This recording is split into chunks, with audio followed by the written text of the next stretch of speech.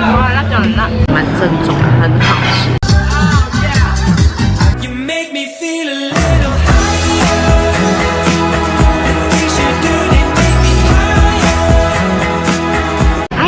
金欢欢频道。那我现在呢，人就来到一个当地还蛮有名的泰国餐厅。这个泰国餐厅呢，它其实是类似一点网红餐厅的感觉。其实它整个整体环境上呢，就是非常漂亮，非常适合拍照打卡的。当然，这个地方除了可以让你拍照打卡之外呢，它这里非常有名的食物就是他们这里的泰国传统美食。虽然是想说这个地方离市中心是会有一段的距离，但是因为现在搭 Grab 也是非常的方便嘛，所以我们就来到这个地方。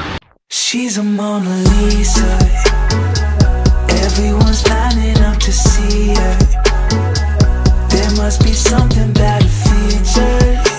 来泰国一定要喝他们的奶茶。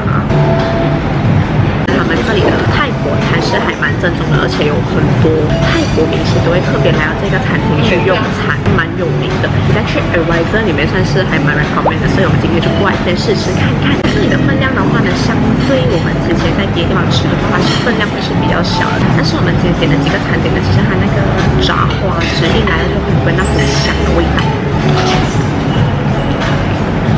它的甜度的话呢，其实你吃一口的时候，它的那个酱汁的味道就很非常的浓郁，很香，虽然有一点点带辣。我们要吃臭豆，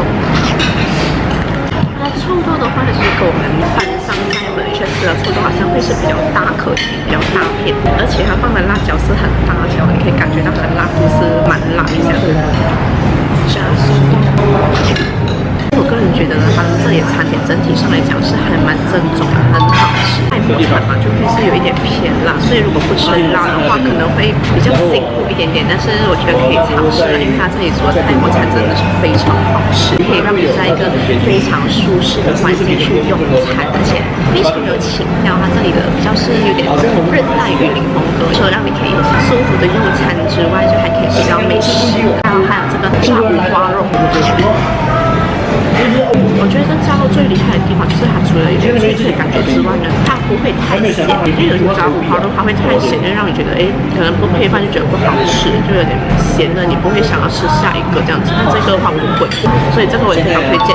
就是它的那个餐点，就是炒菜的那个酱汁是浓，非常浓郁嘛，所以对我这种不太喜欢吃干饭啊，喜欢加酱的人是很适合的。但是如果你人数比较少的话，我建议大家点两到三样菜就可以了。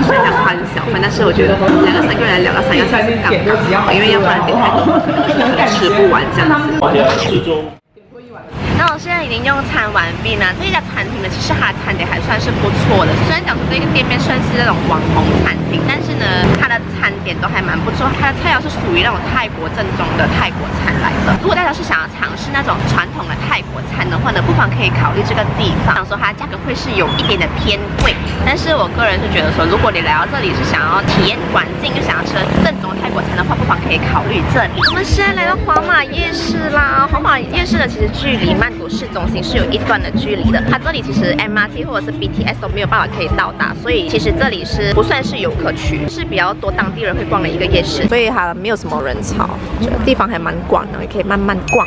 就是逛起来还蛮舒服的，因为它这个地方不是游客区嘛，所以它其实呃不会人挤人，这里还算是蛮好逛的。如果游客来到华马夜市的话呢，通常他们是为了这一个猛男海鲜餐厅过来这边的。据说这个猛男海鲜餐厅呢，其实之前已经在网络上红了一段时间，但是因为我上次之前过来曼谷的时候呢，就是忘记了这家餐厅，所以就没有特别过来这里。而且这一次我就有特别安排来到华马夜市这边，就是为了这一家猛男海鲜餐厅。远远就听到他们的音乐播得很大声。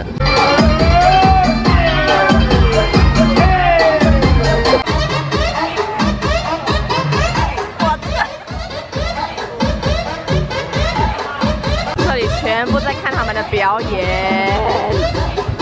我们现在已经来这里点餐了，但其实基本上他们的服务人员不会讲说他一直都会去跳舞啦，因为也是会很累嘛。就是他们基本上就在你用餐啊，或者是突然间音乐响起的时候，他们就会敲一下。你一来到这边呢，他就会给你两个酱汁，一个是橙色的，一个是青色的。它这里的上菜速度还蛮快，我们刚才点没有很久，就很快就上菜了。我们来试试看它的酱汁。啊 s k a l e 很大个，因为我们今天下午也是有吃，这里的 s k a l e 这辆 s k a l e 有点太小了，吃的不大。其实他们这里主要是吃海这边，有正餐，但是大家可以很让来这里吃，很不错，哇，辣椒很辣，烤的很香。可是我们去马来西亚那种海鲜店吃这种哦，他们很多时候可能炒了，那个肉已经掉出来了，只有壳没有肉。但是这个的话，蛮大个的。我本来还以为整个环境就是会很吵，没有还好，因为他们有休息的时候。但其实如果大家来到这里，你不想进来用用餐的话，他们基本上他们在跳舞的时候，你也是看得到，因为它是那种开放式空间来的，你就可以看到客人在里面用餐，也可以看到他们在跳舞。就是 Scarlett 跟 C 他们话不要推荐 Scarlett，Scarlett 咬下去是那种爆汁，就这两盘东西啦，一盘就是一百磅而已，所以根本连续这些产品在这里是真的是便宜的。所以如果你是喜欢吃海，以